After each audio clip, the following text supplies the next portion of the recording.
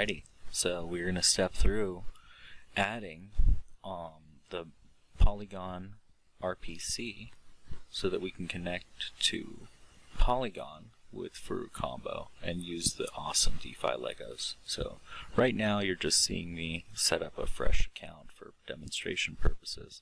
What I want to do is highlight where you can um, add the custom RPC for for for for Polygon um, rather simply in MetaMask, which this is probably going to be the easiest for any user, new and advanced alike. So after you've set up your wallet, you would go up here and towards the top right hand corner where your wallet address is, click on the icon and click to switch to the Polygon network. Here it is showing us what details are being added to our custom RPC. And now we have effectively switched over to Polygon. And here's all these awesome Legos.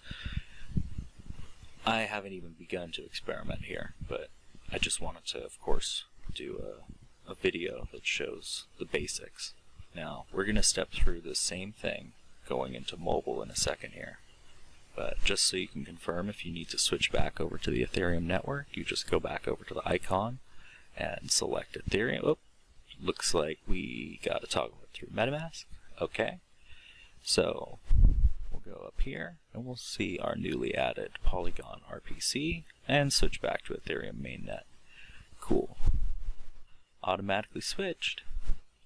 I cannot wait to use Furucombo on multiple chains. Well, now let's switch over to mobile, shall we? Okay.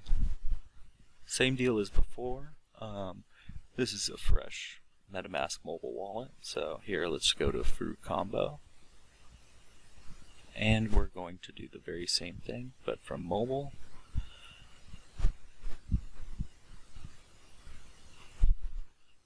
Let's connect our wallet.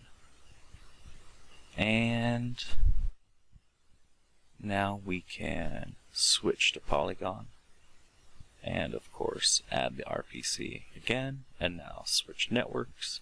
And there you go. You're using FuruCombo with the Polygon network now via mobile. So just to go for uh, A for effort or extra credit let's go over to SquareSwap and just confirm we're using Polygon. There you go